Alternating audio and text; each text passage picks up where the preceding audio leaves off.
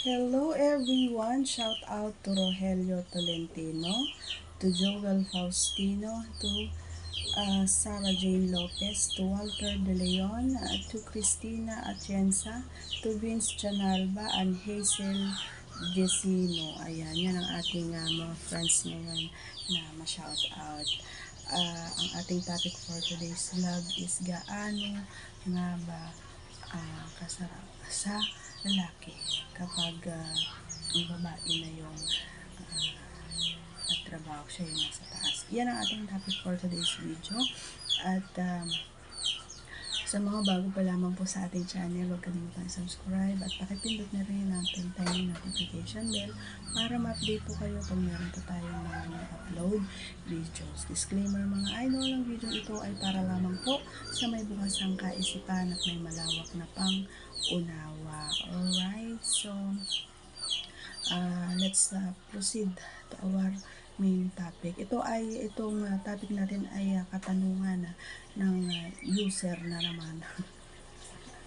user, ayaw niyang malaman kung sino siya. Sabi niya, idol. Sabi niya, anong yung nagiging reaksyon na ng partner mo kapag ikaw na yung nagtatrabaho? Pag ikaw, ako daw yung nasa taas. Yan, yan ang kanyang uh, tanong. Alright, so ating sasagutin yan. Ayan.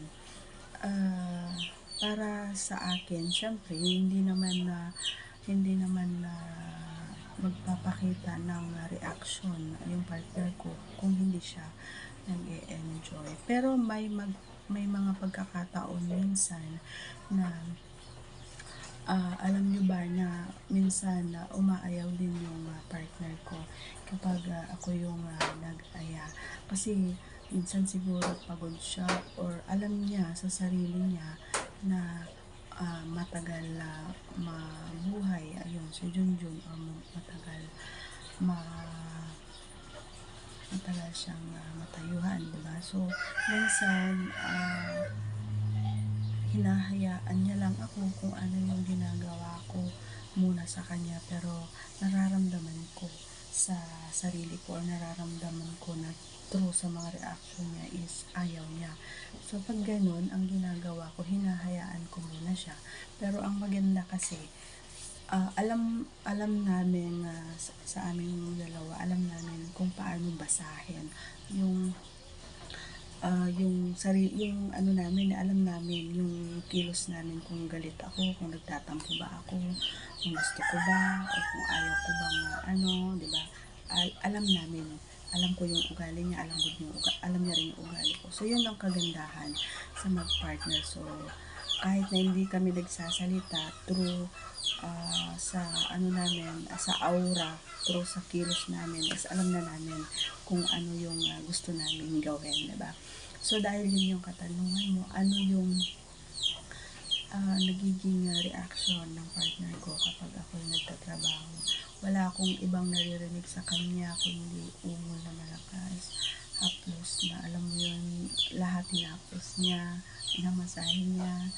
Uh, minsan uh, sa sobrang kasi kapag yung minsan matagal akong labasan di ba? Kapag ako yung sa taas ako yung bumabayo matagal akong labasan. So talagang pawis na pawis ako yan as in tagaktak pawis talaga ako idol. So ginagawa niya yan. Um, punasan niya yan, ayan. Uh, tapos, ha, hindi, hindi siya, hindi siya yung, hindi siya yung tipo ng partner na kapag ako yung nagtatrabaho o kapag ako yung nasa taas, ako yung kumakit o mga bagay is yung hinahayaan ka lang, nakaganyan na. Kasi di ba mga, uh, iwasan niyo yun mga boys ng mga pare ko, iwasan niyo yung ganun. Kailangan kapag yung babae nagtrabaho, gawin niyo rin yung part mo, kaya may kamay kayo, di ba? So, um, gamitin niyo yung mga kamay niyo na mas madagdagan kumbaga yung sensasyon habang siya ay nagtatrabaho. Habang siya ay nangyayari sa taas mo is uh, syempre kapag na, siya yung nasa taas kita kapag yung dalawang libo nasa harapan diba o di bakit hindi mo siya namasin bakit hindi mo siya piga-pigain o di ka laruin yung kanyang ito o di kaya yung kanyang tinggil abot mo naman yung tinggil niya kapag siya yung nasa taas. Abutin mo ng ganyan tapos lalaruin mo yung tinggil niya. Kasi minsan ako kasi minsan mga idol uh, kahit ako yung nasa ibabaw, uh, nilalabasan niya ako kapag uh, uh, niniredy ako or nilalaro yung ating uh, dibdib or yung ating uh, ano.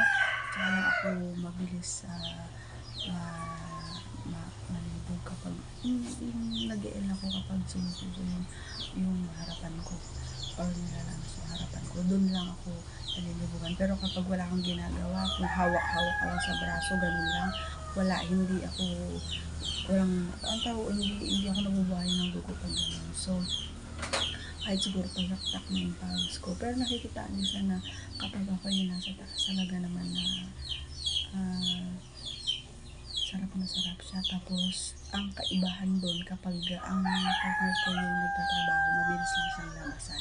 Pero kapag ako yung nagtatrabaho, uh, napipigilan niya, nakokontrol niya na makapagpa, ma, ma, ma, mapumutok ka agad, sumabog ka agad. Yun, so nakokontrol niya yung sarili niya. Kasi minsan, pag naramdaman ko din kasi na medyo naliligas-ligas na yung binti niya, medyo tinitigil ko. Ina, tinitigil ko yung uh, pagbayo. Pero kapag na ano ko na naman na medyo in-straight na naman yung binti niya, doon na naman, babayo na naman ako. And then, um, yun yung maganda sa amin kasi once na uh, yung napalakas na yung, yung ko talaga. Pag narinig na yung malakas na ungol or medyo umikpit na yung yakap ko sa braso niya or medyo minsan talaga naka hindi ko alam kung na-experience niya na to sa mga partner mga ayun na nakakagat ko siya minsan. Oo nakakagat ko siya minsan pero uh, sa kanya na lang nararamdaman yun kapag uh, tapos na ang undas papakita niya ako sa nagkakasa ganun. So, alam kong mali yun. Pero doon, lalong-lalo na kapag may taong iba sa ibang room, ganyan. So, hindi ka makapag, uh, maka, hindi mo i-voice out, kumbaga yung uh, sarap na nararamdaman ko. Hindi ko na, hindi ko na i-voice out uh, hindi ako makaungol na sobrang lakas. Gawa nga ng may tao, di ba? may makakarinig na alam kong makakarinig. So, ang ginagawa ko is, minsan, uh, inaano ko, kinakagat ko yung uh, braso niya, ganyan. So, hindi ko maiwasan. Alam niya na yon kapag ganun ang ginawa ko, hinawakan ko na yung braso niya, is talaga naman na alam niya na na nalalasan na ako noon. So, uh, doon na rin siya magsasalita na malapit na ako, ganyan. Pag sinabi ko na ako sabay tayo, lagi kami, ala, alam niyo guys, lagi kami, lagi kami sabay kapag ako yung nagtatrabaho, pag ako yung nasa taas. Kaya, uh, nasasanay na siya na ganun yung uh, routine namin kapag na nag-SA uh, kami, ganun at ganun. So, hinahayaan niya ako na gawin yung part ko. Kaya kung gusto rin naman niyang magtrabaho, hinahayaan ko rin siya. Pero uh, inuuna niya ako. Mas inuuna niya na makapagpalabas ako kaysa siya.